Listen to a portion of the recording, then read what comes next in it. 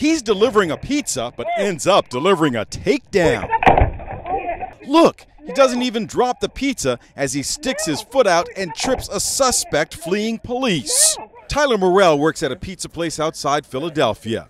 He was delivering a large pepperoni pizza to a customer when a speeding car suddenly skidded onto a lawn across the street. Oh! So then I hear the screech, and that's what catches my attention. The suspected car thief tries to make a run for it. That's when Tyler makes a split second decision. He's six foot eight, so he didn't have to stretch very far. I was on the sidewalk, so right here, I hit him, Right? and he goes flying. Look again. Tyler sticks his foot out, and that dude goes down hard. Police have their man. So, what about the hungry family? Did they ever receive their pizza? They sure did. Unscathed and on time. Everyone thinks, perhaps in the back of their mind, I would love one day to do something where I help, where, I'm, a, where, I'm, a, where I'm the hero Honestly, for the it was day. probably the coolest thing I've ever done in my life.